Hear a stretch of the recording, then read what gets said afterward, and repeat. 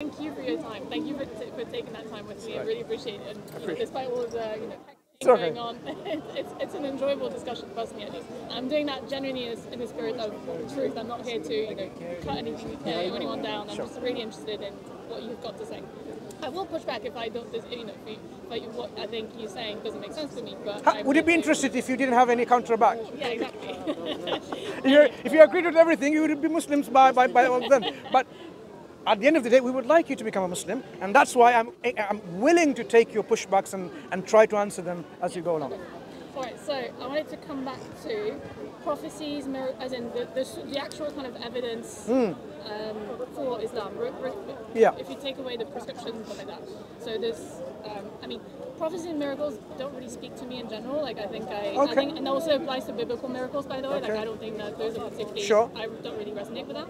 But just for sake of argument, one point that you mentioned last time, you mentioned this book of 500 miracles that the Prophet did. I said 300 miracles. yeah. 300, sorry. But the Quran itself states, I think, several times that there are no signs given to Muhammad. No, this is what we explained before as well. This is what the, the, the Quranic picture of what a miracle is. Anytime miracle is sent, people try to, people in their habitual nature, they disbelieve in the miracles. So God says, Ma mana'aka. Nothing has prevented me from sending miracles except the people of the past disbelieve in them. So in general, God is not willing to provide miracles and miracles to make people believe because people in their nature they disbelieve in the miracles. So even when he sends miracles, they keep on disbelieving in it. That's point number one. Point number two, God does not give in to people's demand of miracles. They say, okay, you know what? Give me a mountain of gold, I will believe, for example. He's not going to give in to this kind of miracles because these are silly claims people want to make, even if what it was the, because the Quran says, even if there were mountains of gold, stairs going up to heaven, the dead were to speak, they will still not believe. Because belief is not just what they're demanding miracles for as a belief, it's something which is in their heart, the stubbornness and arrogance and pride, and many of their psyche, the ego, that's the problem, not about the evidence. So, Quran does not in any way say, oh, Prophet Muhammad was not going to be given any miracles. The Quran says miracles is a matter of time. But it will never be given according to their dictates. And the Quran says that when the miracles are given, the ayats are given, the example I've given you about the splitting the moon, وَإِذَا رَأَى When they see this sign, they say this is, uh, you know, this is, a, this is a magic, you know, perpetual magic and so on. So miracles were performed by the Prophet. The Quran does not somehow say no, it didn't. The Quran affirms that was the case. But people's reaction is it's magic. And the Quran reprimands them. Like, you know, what, what's there for you not to believe? You see it within your own eyes and you disbelieve. So these are the people that really we're going to have to have a good accountability in the hereafter because seeing something in front of their eyes which it cannot be accounted for as a natural thing that people do, like magic and things like that. Some people are learn this trick. When they could see clearly, if you and I were there and the sea parted by the staff of Prophet Musa alayhi salam, Camille, are you going to just say, let me rub my eyes? What am I seeing Am I, uh, am I be having some kind of delusions with some narcotic gas? You're not going to see that. You see that on front of your face. This is called Ainul Yaqeen. This is your truth, reality of your own eyes. You saw that in your own eyes. You are not going to question like, oh, this didn't happen. That will be an evidence against you at that point if you didn't believe in it. So when miracles do happen, and some people just disbelieve in them by saying this is a magic, like they did with Christ and they did with Moses, these people will really have no excuse in the day of judgment. In that judgment day, they will have to account, okay, here, that was an evidence in front of you. Why did you di- disbelieve and reject the evidence? What are they going to say? Oh, I was deluded? Because there will be no counter back. There will be no pushback from them because they cannot argue against it. Because you could not explain that this was not a miracle performed by a prophet and a messenger. That's what we're talking about. Quran affirms miracles of the prophet. And the one of the examples I given you, the Quran clearly says, is about splitting the moon. When they see, وَإِذَا رَأَوْا When they see, That's they see that. backwards Again. Uh, the Quran does Ignore not the heckler. I'm not- I'm not- no, no, don't even In listen fact, to the heckler. Commentators say that that's a sign of the end times, not Muhammad doing it. So Look. actually, you're right, Camille. Camille, There here. is nowhere in, in the Quran where it says that So Muhammad this is the miracles. this is the chapter It here. talks about the miracles of, of, of uh, Musa, of Isa, even Abraham, but not Muhammad. It's Surah 54, verse 1. And now the to, time to me, has that come. the splitting, I don't. The I, hour drew near and the moon did rent asunder. It's But where's happened, Muhammad then? right? Nowhere could even read Tafhim al Quran yeah. uh, this, by Sayyid I'm not gonna I'm not gonna take this example out of thin no, blue, historical event, and it hasn't happened yet. When they see a miracle, they turn aside and they say transient magic. Where's Muhammad nine times? And they call a lie and they disbelieve. This Where's is Muhammad? in past tense, and follow their no. law desires, and the affair has to be appointed term. So when when they saw this, Lying on the Quran. they called it magic and they disbelieved in it. yeah, but he's got a point in that. Muhammad. What, what? Where's it's Muhammad? I don't not, see him. It's not a, a performed specifically by Muhammad. Hang on, hang on. Who did this miracle? Well, according to Sayyid Maududi, No, no, no. In here, Indian. During the time of the Prophet, the Quran was given to him, right? and he's It is a sign, doing that. but they're different. Now, what we're going to do is we're going to be so hyper skeptical. We're going to say the Prophet didn't exist. He didn't say this. All the hadith are not. Try to understand. I like it. The hadith that talks about that this is a historical event that took place like this nature. This is the reaction of his people. We're going to disbelieve. later, so exactly. See, hadith came later. Quran came later. How much are we going to dismantle this skepticism As of the the the historians which are known as revisionists? Revisionism is a school of thought in historical criticism in which they try to re- reject all of the historical details and say, ah, maybe he didn't exist. Maybe the people didn't exist. Maybe Mecca didn't exist. Do you know that? Yeah, yeah. They're even talking about saying Mecca didn't exist. Subhanallah. The Prophet didn't exist. So what do we say about these people? The hyper skeptic revisionist, you are against the historical memory of the people, going against the data. We have historical data of a place, of the people, and their artifacts, and their beliefs, and their systems, and their writings. All of it. How much do you want? Writings after writing in inscriptions, in papyri, in, in, in writings and later works. No sane historian would doubt, for example, Prophet Muhammad existed and he preached in Arabia and he had this kind of belief about him. No sane wonder. Hyperskeptic, revisionist, fruitcakes may believe in that. Just like hyperskeptic, revisionist, fruitcakes believe Jesus did not exist. Yeah. I Oh, mean, he accepts Jesus doesn't All exist that- because he didn't claim to be God. Camille, don't Camille. Engage, don't engage with them now. That's It's fine. okay Come to to me me. You're right. You're right. I'm corrected. You can't help me. We can't help me. agree there are Christians, because of this consistency approach, they will say because we have a historian who doubts the existence of Christ, Christ didn't exist. They need to be consistent. So now maybe that is the view. Christianity didn't exist. All of these writings, come on, Additionally, doesn't matter. Do you see the point? fruitcakes So Yeah. that's why that's why we call them fruitcakes because these are hyper skepticism. They go against history. So when it comes to Wait a miracles, when it comes to miracles, What, what, what, what happens when the Quran says that Christ was crucified? Isn't that being a, a fruitcake? Wait, Huh? why Huh? conversation It's just- with them? Stop go. Go for it, but it's No interesting. way. Okay, that's fine, that's fine. No worries. do you understand English? She said, "Go away." No, say in Arabic, Mansur, please. She said, "Go away." Arabic, Appreciate it. Go away. Carry on. She said, "Go away," not me. Okay, stop it. She said, "Go away." No, no problem. Go for it. She said, "Go away." Divert. Alright, sorry, you were saying. She, he has no respect for you. It's okay, but this that's what hecklers do. I'm sure there's, you know, Right. I agree. I agree that you've understood. Now we're on the same boat that you agree that he's a heckler. Good. So now we move on. So, But, but to say, there's probably, you know, I don't know about. so that book about 300 authenticate miracles, you, in your mind, is this: the Quran denies the miracle performed by the Prophet ﷺ. So how can he have done miracles? As I explained to you, the Quran does not deny. The Quran denies what thing? Miracles as expected by people, demanded by people. God doesn't give in to these kind of things. God gives His own miracle. And that's why you'll find within the Christian text, there's one point Christ said, I think I mentioned this before, no sign will be given to you except the sign of Jonah. So Christ himself make a condition. I'm not going to give you all the signs that you demand. Do this, do that, whatever. Nothing will be given to you. No sign, except one sign. So here we have a consistency of the messengers in terms of how they deal with these kind of hecklers at their times, um, trying to give me evidence, give me evidence. They do not fall for their trap, right? And then and their and their and their ego business of, you know, give me something I will believe. In, in fact, they would not believe.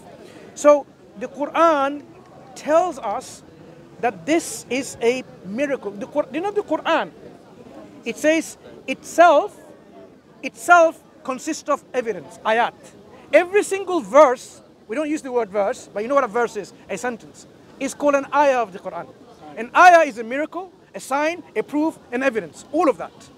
Quran itself, in its individual component, is called a miracle. Yeah, so I want to come back to that because that's probably actually of all the things that we talked about, that's the only thing that's the probably the one that speaks to me the most is the inimitability of the Quran. I think it's because I have I'm a linguist. I you know I Did I- you watch I did, I ChatGPT? did. It was really interesting. Yeah, yeah. Yeah. Um, I so I I need to do more research on this. I Please was- do, please do. Yeah, yeah. You mentioned actually in that video, you mentioned the lec- series of lectures that you did on the on Yeah. the, and I couldn't find those, so I don't know. So the lectures are called the. Um, I'll show you which ones, so you can uh, listen to them. There's three parts. It's three lectures in three occasions. So let's see which ones they're called in Dawa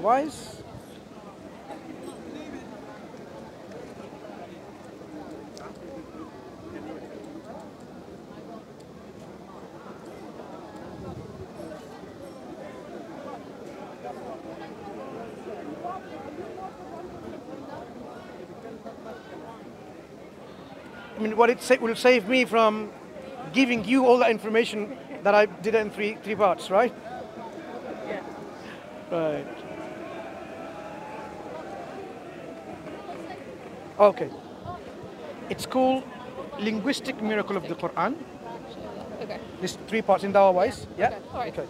So originally it was uploaded in a different one, so that's fine.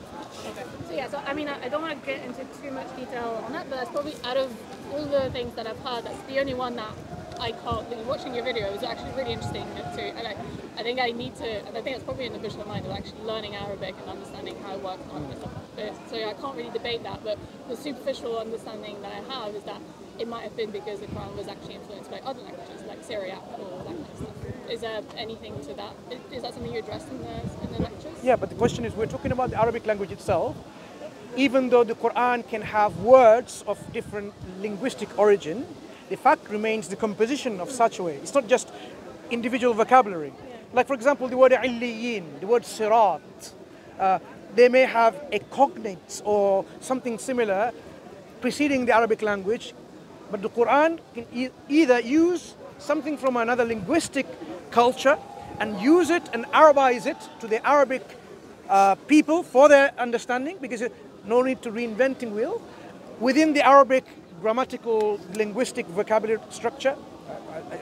Whole within the framework of the Arabic vocabulary, because you know how the words are derived. For example, the word globalization didn't exist in the Arabic corpus, but now what does it say in Arabic? Globalization. Awlama. The root words are ain, lam, mim. Right. To know. Alima, ya'lamu, to know. And from this, like, you can have so many different meanings. Globalization, where you can have the world, and because of a root word, it could have meaning attached to it. For example, the word alaqa, the Quran says how human beings go through the stages of alaqa. And people say, oh, that's wrong, it doesn't mean that. But if you look at the word alaqa, in its root word means it's some con- connection, something that is hanging, hanging. So a mu'allaq, that you, you know, if you see some traditional places in my country or in our country, they make something with rope and so on, and they hang their pots and things on that. It's called mu'allaq, right? Alaqat, relationship, because we hang with each other, right? So each word can be derived from a root word. This is beauty of Arabic language and, and of course probably Semitic language the same, right? So when it comes to the Quran and its uh, linguistic miracle, of course the Quran brings in new terms which the Arabs didn't know them before, but it Arabizes them from the Arabic stock. So the word Quran itself, you'll be surprised, was not known to the Arabs what it meant. There is no pre-Islamic poetry which has the word Quran in it because it didn't. This particular form, Quran, did not exist in their vocabulary. So the Quran introduced even the name of this book, which they're not familiar with, but something from a root word, qara'a, is meant to recite, to read, and so on, in that form. The word surah, a chapter, was not known to the people in this meaning. Surah was like a fence. But the Quran is introducing a meaning and it, it describes Anzalna and so and, and it tells you what it means at the same time defines it. This it, it has a border, a fence all around it, a, a thematic unity. The word ayah, verse and ayah, wasn't known to them in the meaning. To them, ayah had a different meaning. So the Quran introduces even the words with a newer meaning and, and explains and defines as it goes along. So the ling- new linguistic lang- the new language the Quran brings, which they couldn't have thought about, the Quran within its recitation, it explains it. So people didn't have, why are you speaking gibberish? You know when a child speaks gibberish, after hearing few times a mother or a father, a brother, sister, they know what it means. If you heard it first time, you wouldn't know what it means. The child speaks gibberish. The Quran came and spoke in a language which was unknown to them in the but they understood not only that this is an eloquent way of expressing it, but they understood the meaning and yet it wasn't in their vocabulary. That is the linguistic um, uh, secrets of the Quranic language. So that I wanna, I'll, I'll Yeah, yeah. watch your videos and I'll come Please do, please it, do. That, I mean, that, to me, that's the only one where everything else I'm kind of like, ah, it doesn't really. Contradictions. What about the contradiction claim? If the Quran was not from any other, than- if the Quran was not from God, it was from anyone else other than God, then you will find many ikhtilafan. Yeah, well, that I I never really quite understood that point because to me there are lots of places that seem to contradict each other. Now, Do you agree in principle? A book from God talking about history, about future, about contemporary affairs, about secrets of your heart, about the natural world, about politics, anthropology, sociology, all these things, if a book from God is talking all about it, it should be free from errors and contradictions. Um, Or should it be- In principle, yes, but if it's Yeah. been mediated through humans, then it's subject to errors. Potentially. first of all, in principle, is what I'm asking. You expect Yeah. a book of God should be free from errors. So when the Quran makes that claim that this is the Quran with all its forms of guidance on every aspect of life, it talks about embryology, it talks about astrophysics, it talks about biology, it talks about the ancient East and ancient West. If it wasn't from God, you expect it to be contradictory, erroneous, having lots of contradic- eh, eh, you know, discrepancies. It's not that any book on any matter, if it's free from contradictions from God, a, a phone book may be free from contradictions, but it doesn't make it from God. But the phone book does not talk about the ancient world and the future world and the humans and the natural world. If it did, then we expect it to contain mistakes. But then on that point, then why would verses be abrogated then? No, abrogation is of what? Abrogation, God says very clearly that ma nansakh min ayatin aw nunsiha. Is it how it goes? Anyone knows the ayah? We do not. What's the ayah? نأتي بخير منها أو مثلها. Right? so, he does not abrogate or makes an ayah forgotten until he brings something better or similar to it. It's all about making the society in the what's this called um, rehabilitated reha- rehabilitating them and making them so god can condition a society with a certain particular specific laws and then he will say that's fine now we have different laws just like say a law of adam and his children how they had to um, twin sets had to marry each other human beings to procreate because there wasn't another human being separately created and they married because only one man and one woman from them we all came. So the law of for example marrying sisters and brothers is now no longer applicable. But at that time it was okay. So god for a community he can instill and give guidance and laws and he can say these are no longer necessary for now but for future that is not Well, necessary then why would certain verses like the one about slavery not be abrogated then? Could be slavery will be, as, as I said, certain laws can be there because it will take long time, as we explained before, to get it eliminated. Or slavery will be there such that it will be very difficult to eliminate. So that means conditions may be there and you need to have rules and regulations and solutions for it. So we're getting new Quran verses like sometime in the future. That Do you follow? So God oh, Yeah, here is not abrogating slavery. This is a law. He is trying to encourage it to be eliminated through the processes and mechanism God has put in place. Can God ever make a mistake? What do you think? I'm asking you. In your I will opinion. answer, but what do you think? No, no, no, no, no. I'm asking your opinion of it. I will You're- answer. So that's why I'm asking. the question. Sure. Wait, wait. hold God will never make mistakes. So God can never make a mistake. Of course not. We are going through right now every error in the world, every disaster that we're going through, along with all the good. That's all part of God's plan. Is that what you're telling me? Yeah. I'm telling you, anything that happens, it happens with the will of God. Yeah, I know. Listen, the, the will. I, the, the, I'm, I'm not. I'm not really concerned about the will. I'm saying, is is he aware? Is that part? of He's aware. plan? So there's no. Everything's going to plan. Nothing can go against his plan. So everything. Everything is going to his plan. Right, so- Nothing can go against the plan of God. right. So all of the disasters that are going on right now, that Everything. is enduring, Everything. This is part of God's plan. Everything. in order to do what? Hmm? Hmm? What's the process? What's So- the end? What's the end? Hang on, hang on. What, what I want to understand is this. One second, one second. Before I go into answering one question after like a you know series of questions. Sorry, I did- I- no, no, no, no problem. I want to understand one thing. Yeah. What does that prove? That God doesn't exist? What does what? What does your questions prove? If everything, if there is evil in the world, what does it prove? If there is suffering, one second. If there is suffering in the world, if there is all this evil in the world, what does it prove? Does it prove that this non-existence of God? No, I'm just trying to understand the logic of things, right? Because there is so many things happening, but you have to throw some sort of logic by it. Yeah. And if logic comes correct and you say there is no problems, there is no error, and God hasn't done. It's not about error. But I just said, has God ever ever made a mistake? Let me come back to you again. No, this is not about an error. This is not a human experiment that God has, in which human has a trial and error and God didn't know about it and God regretted it. What we're saying is, God has given in this world, which is not utopia. This world is a place of test. There will be suffering.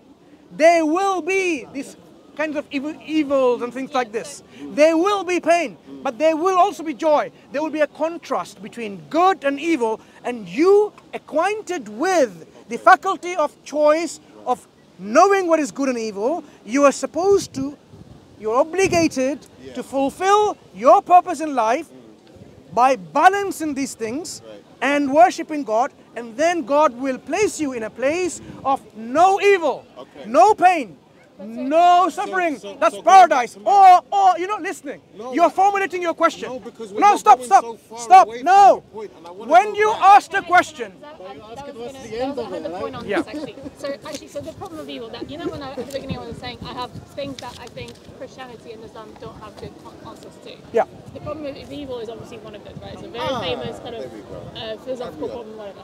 So, so your point there is that This is the because the because the world, this world is a is a test. This life is a test. That's why there is evil in the world and suffering. So that makes sense. I know. I, I, I would agree with that. But then, what do you make? What is the meaning of menial suffering, or you know, for instance, animal suffering? So animals do animals don't go to don't go don't have an afterlife. Any, say two animals fought with each other, one broke his hand, a horn or something like that. In the day of judgment, God will recompense them. God will recompense them. But do even animals. animals have a soul in Islam? Animals, what do you think? I don't think animals have souls. Well, yeah, so- so animals, do they- do they- do they have souls? Yes. Yeah, so if they don't have souls, then how, how do they have an afterlife? no. no. They don't have afterlife. Okay, so they won't have afterlife. Okay, In a day of judgment, they, if they have disputes like, like you're saying, questioning, or what are they going to do? Some, something has happened, like one animal violated another animal, whatever. Yes, they, they will be given and that, that will be it. That's it. But so then, what in this life then? Because the one reward, perpetual life is the human that's going to have. That is what is God created us for. So the animals and so on and so forth, these are all, in fact, Allah says in the Quran, everything here, وَسَخَّرَ لَكُمُ الشَّمْسِ Even the sun has been created to be subservient to us. Wal-qamar and the moon.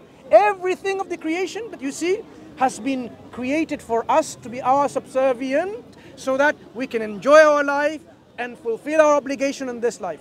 Okay, but fine.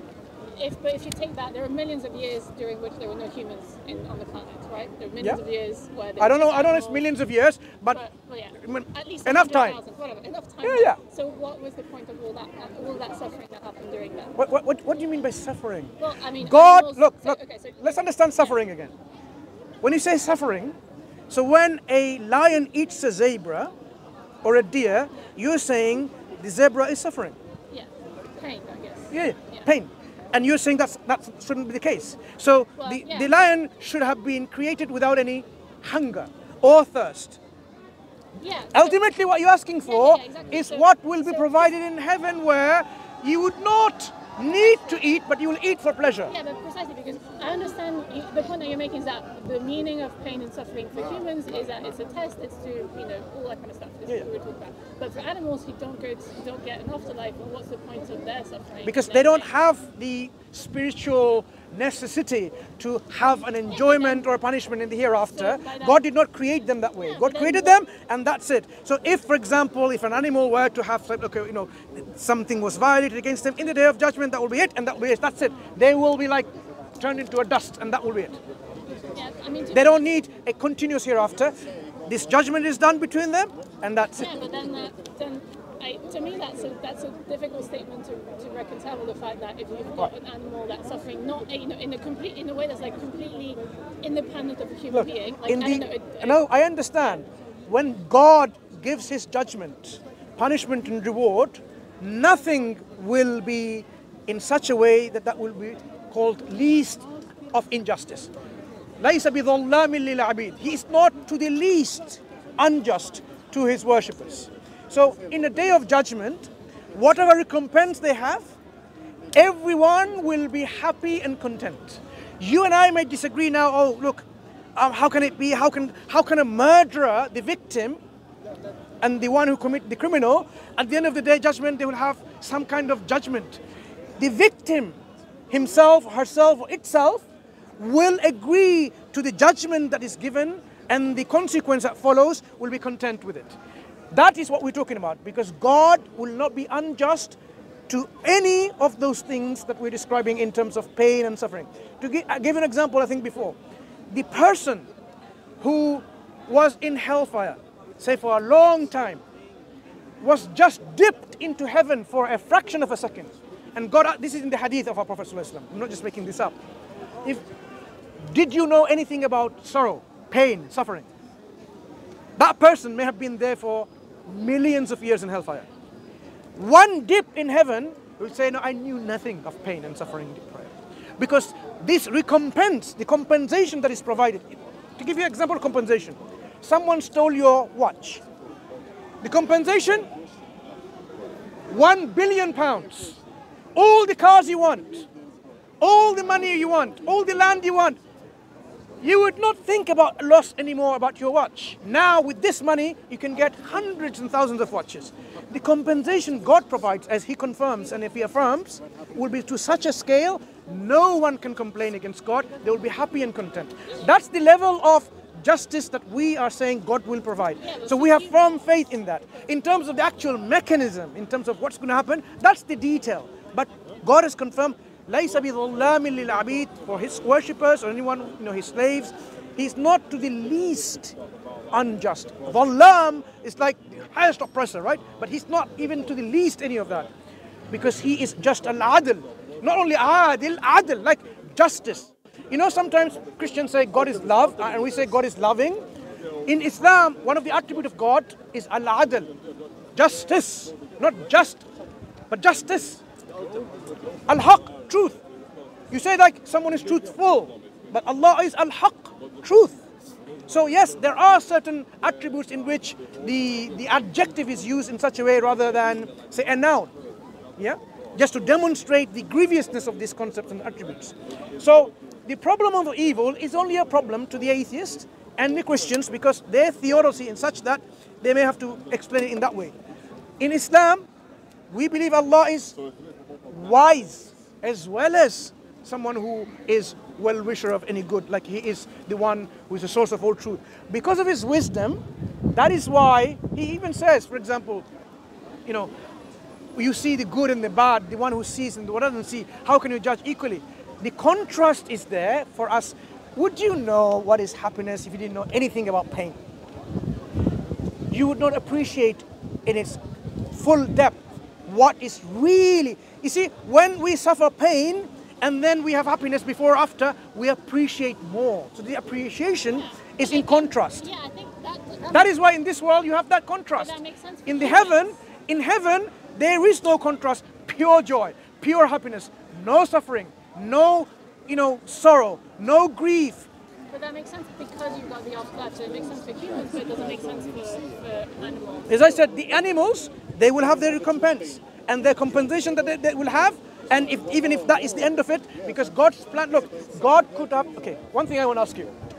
Why do you expect God to make you live forever and forever? Why would you expect God to create you and give you a life of eternity with no end? Why? It's God's choice. He could create you and that's it. So he could create animals and that's it. They're only a mechanism in this life, how we understand and how we develop ourselves. Animals die and suffer.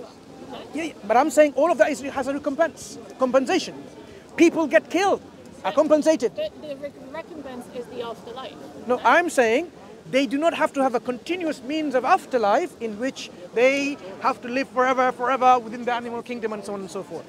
If their existence is annihilated and only thing is there, like if you wish something, I want to eat some the, the, the meat of a bird and the bird is now created, comes up to you, and then you eat of that meat and so on and so forth. But they do not have to have. If you want, for example, I'm sure, if you want, I want a pet dog in hereafter. This is your wishes. If that doesn't contradict anything of God, I'm sure it will be granted. But we don't go into all of these details if our if our the guidance from Islam is silent about it. Like somebody says, I want to play football, I want to win. And he says, I want to win two in the match. Well, that cannot be granted. Why? Because you're generating contradictions. In heaven, there cannot be contradictions. There cannot be conflict of will. You know, people say, look, oh, in the Quran or in Islamic teaching, you, you believe everything that you wish will be granted. So you say, I want to play against Mansur and I want to win, and Mansur wants to win. How can you win a game? Both cannot win. So, so this kind of wishing would not be given. Contradictions, logical impossibility, logical impossibility will be removed. Oh, I guess, uh, so is it that? And I gave an arbitrary example. There could Yeah, be yeah, yeah. many examples where you generate contradictions, uh, you, you, you create a very incoherent picture. What we are saying, the Quran tells you there will not be any, any ill feelings, any grief, and so on and so forth. That means our human psyche will be transformed in such a way in which you would not wish where there will be generation of conflict of will, where I mean, logical impossibilities arise. free will, I feel it's almost- Logical impossibilities would not arise in heaven. Then, yeah, so I feel it's like one last point on, the, on that point of evil, and I feel then I need to call it for a day. But again, but on that, so animals uh, versus human, right? There's like a clear distinction between the two. Humans have souls, go to heaven, or you know, or hell, but you know, afterlife. Animals don't. But that is at odds with the fact that you know there were like there's a continuum of evolution, and I'm not talking about necessarily the, the theory of evolution, but the facts Yeah, yeah. of evolution, where you know um, it was animal, animal, animal, and at some point human. And there seems to be there's like a dichotomy. There's been something that's been said at some point. You're human, you get the soul, you get to go to heaven, and you have free will. And then everything that comes before that doesn't. And that to me is What, I, what I, is- I understand your point. What you're saying is, look, all form of creation should have some reward or punishment. A tree, for example, you're saying that tree provided the shade. You, it provided so much fruits and vegetables. It should be rewarded. It should have a heavenly life, afterlife, and so on. You know, this is the expectation you are coming up. I'm saying God can decide to continue the existence of something as long as he wants according to his wisdom. He can have human beings forever and forever if he wish. He can have certain creation up to that point if he wishes, for example. This is the prerogative of God, how he wants to continue the perpetual existence of certain form of creation. So the recompense, the reward or the punishment you are saying, you are expecting everything that is here on this world, even a bacteria, even the viruses. Let's talk about them. There are good bacteria in our gut that helps digestions. Are you expecting a reward for them that should continue in the hereafter? You can bring in all of these things and you will say, I expect them to have a reward in heaven as well. So what we are saying is God in his wisdom, he has certain creation in mind to be rewarded hereafter. In his world of creations, for example, he can create a world in which there are other creation with other rewards, other punishment. God is constantly creating. This world of ours is one of these many worlds. So we have a companion who says like there's like a parallel worlds. They're parallel prophets, parallel you over there. God can create that. But what we're dealing with is our existence, our soul. You and I know you're not, I'm not Camille and you're not Mansur. We have our individual existence and awareness of existence. What is there for us is a continuity of life with a given a new body of our soul, because what I am, I am my soul with my body. That can be changed and rechanged if necessary. In the hereafter will be a different body. And a mechanism to enjoy what I have done here. And that enjoyment would be spiritual, would be physical, and so on. Now, if, for example, I'm saying, look, I'm not giving you a blanket statement about animals. I'm saying if there is nothing contradictory and people wish, and God, even God has some, um, I don't know all the text. If someone can correct me, if there are texts in which there are animals can live, no problem. I don't see any problem. But I'm saying, in general, even if there wasn't a afterlife for animals, this is the prerogative of God in which anything, any suffering they had, they will be compensated and they will not feel in any way unjustly treated. So I agree. I mean, you can explain away to extent everything on that, but it just it's it is a very contrived. Um, Okay. A very contrived. I will come back with- explanation. Beneficial bacteria. Yeah. yeah. According to your expectation, there should be beneficial bacteria having reward. So we want now no, bacteria in heaven. Actually, I, I'm not actually. There is an alternate explanation. The, the simpler explanation would be there is a God Yeah. that has set up a bunch of rules, laws, and Yeah. you know, I created the universe, created the things, and let them, all of them, um, know, evolve and develop according to His plan. But it's not materially then intervening on. Oh, you'll get a reward, you won't get a reward. It's Yeah. just like that's all. Part of But yeah, yeah. To, the question is about continuity of existence. So we are told we will have continued existence either in, in, in heaven or in hell. Okay? The jinns is another creation, likewise. In terms of other creation, for example, now if somebody you know, questioning about viruses and bacteria, certain bacteria is good for you, right? In their gut, they really help digest. You, you, you do know that, right? In fact, people take probiotic, full of bacteria, isn't it? Yeah. We actually consume bacteria for the goodness of our of, of our gut. So if people say now, okay, what's the reward for them in the hereafter? Should they be in heaven as well? Well, if God wants to have their bacterial heaven, of course He can have a bacterial heaven for them, so on. But God is interested in the humans in terms of what we are, rather than you know you interested in everything else. There are many things which are not necessary for us to delve into. If you do have questions, that's why the Quran at one point said, look, if you have questions like this while the Quran is being revealed, then it will be answered. Like if you have, but Yeah, actually, a question on that. Because obviously, in the Christian understanding, the hmm. reason why God cares about humans is because humans were created in the image of God. But that's not the case in Islam, right? So, in Islam, why does God care about humans specifically, as opposed to everything else in, on- in His creation? God considers human beings one of the best of creations. In the eyes of God, one of the best, Ashraf al makhluqat, one of the best of creations Allah created us. In fact, if you think about it, we are the top of the food chain in that manner. We, are, we in fact, human beings are going to space, not, not an, an elephant or bacteria, human beings. So God created us in this way, and He has the whole human project in a way that the consequences of them is going to be either eternal heaven or eternal hell, like that. But in doing so, human beings are placed in an environment in are other forms of creation. And we have to encounter and engage with these creations in the best possible way. That is why Islam says look after your environment and look after the things in your environment. Don't go and kill unnecessarily, unless, for example, for food and so on. So we can't have uh, a farm of rabbits only for fun by hunting with our foxes. Totally forbidden, because that's uh, suffering for fun. But God has granted us permissibility, permission to consume them, some animals for food. But He doesn't ask, grant us to eat all- forms of food because He says there are some which are good for you and some which are not. Halal and tayyiba, we talked about pure and permissible. So we only consume what God has given permission for, which are by their nature, they're good and they're permissible. Camille, if you're interested, I can show you where Yeah. they believe also um, Camille, what's any next question? uh, I mean, I think for for today probably enough. I've- Okay, I've that's more fine. that I need to go and read. I think Sure. the, the big thing that I need to, I I feel like that's going to be Inimitability. topic is the Inimitability. Certainly. Do watch the lecture. Um, And in the meantime, take care. And Yeah, thank you again. Keep your Again, I just want to say again, thank you for your time and thank you for being generous with your time. I, I really appreciate No, it. you've been wonderful. With, even with the hecklers, you know, you, you, you stood your ground and you told in, and you told the heckler to go away. That was really, really good. And I hope the heckler at And least appreciates what it means. But- but, you know, the whole like hack those whatever. Ultimately, something that wait, wait, hang on. I just want to say something about engaging with Muslim, you know, the whole Christians and Muslims. A lot of what you see on the internet is about clashes between the two.